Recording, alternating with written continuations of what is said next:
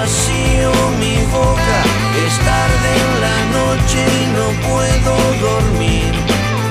Silenciosa mi risa está oscura, domina mis labios, me obliga a mentir.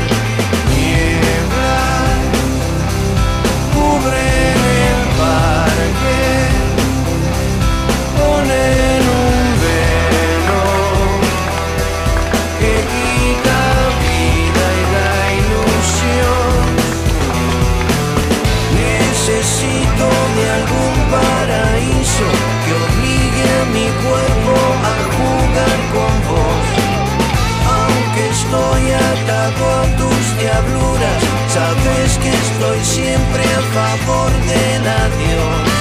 A lo mío la fui a buscar y como el árbitro no, no cobró nada, yo seguí y bueno, y justo me encaré para la zurda, la, la pierna menos hábil y le pegué al arco y salió. O sea que ahí. no pensabas colgarla ahí. No, no, traté de pegar al arco nomás, pero bueno, se metió, no pensaba.